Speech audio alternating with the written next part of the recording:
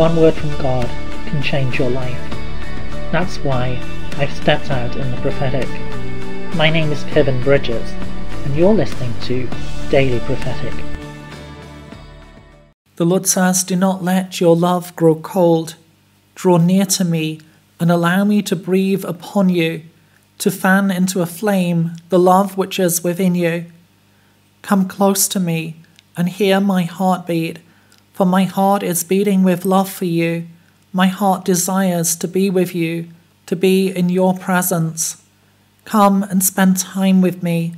Spend time with me, receiving my renewal, receiving my love afresh. For I love you with a love that is forever.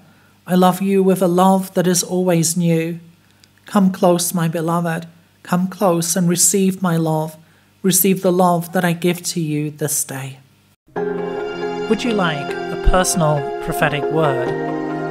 Check out the website in the description below. Don't forget to subscribe to get your daily word of encouragement. And whilst you're here, why not have a look at some other of the videos that I've made? God bless you and have a really great day.